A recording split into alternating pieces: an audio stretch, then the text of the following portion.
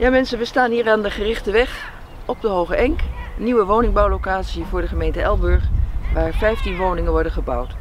En we hebben die uh, woningen uh, samen met de inwoners uh, ingetekend, met een bureau wat ons erbij geholpen heeft uiteraard.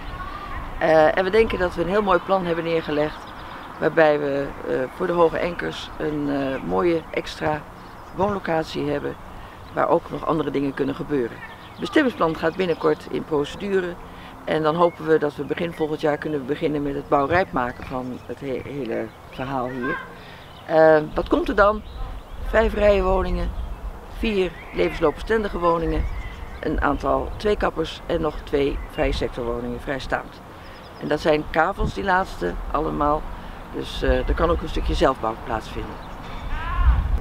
Het college gaat binnenkort het besluit nemen om dit allemaal ter inzage te leggen, de plannen die er zijn. En we hopen voor de zomer uh, dat de zienswijzeperiode is afgerond, zodat we na de zomer de raad een besluit kunnen laten nemen en hier gaan bouwen.